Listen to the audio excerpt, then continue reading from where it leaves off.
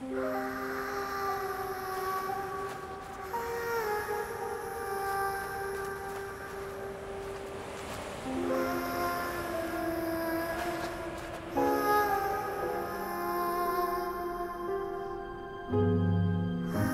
者は全てを知っているつもりであろうが我らこそ愚行の背後にある道義を知る者。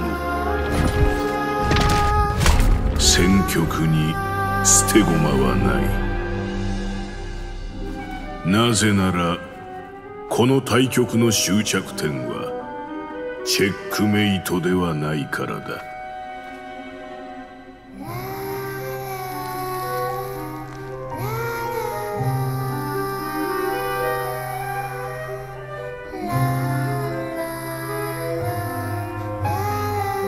今日集まったのは我らが同胞を追悼するためじゃ。この犠牲は全国民にとって半日手を止めてでも記憶に刻む価値がある。半日だけですか。北国銀行は民の血と涙で回っていると言いますが市長殿の価値観は私ども銀行家より歪んでいるらしい。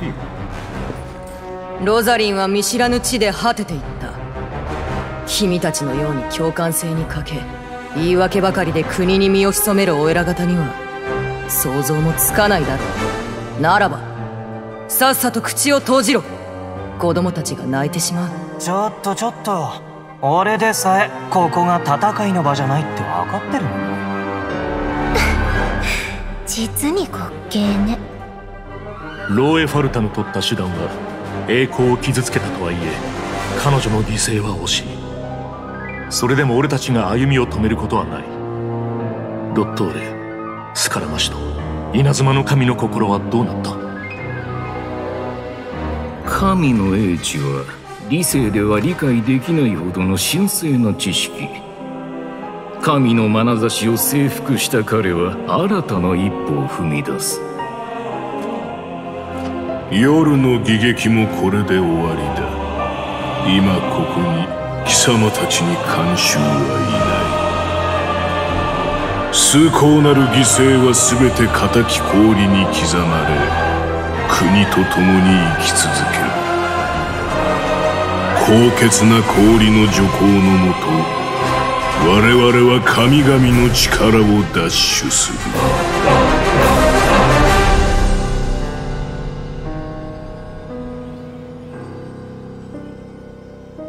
絶対的安寧。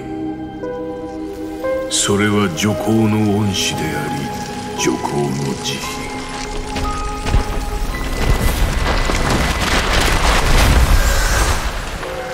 棺にて長き眠りにつき熱い憲兵の中に閉ざされようとも我が輩が約束しよう。ロザリン。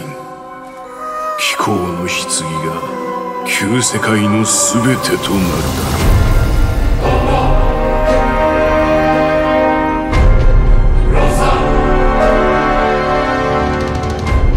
今日の博士なんだか若く見えますね。知っているだろう？その手のお世辞は私に通用しない。じゃあ全盛期の断片はどこへ？それは冒涜に関する実験の中さ。コレイ森をパトロールするよ。あわかりましたティナリ師匠今のは一体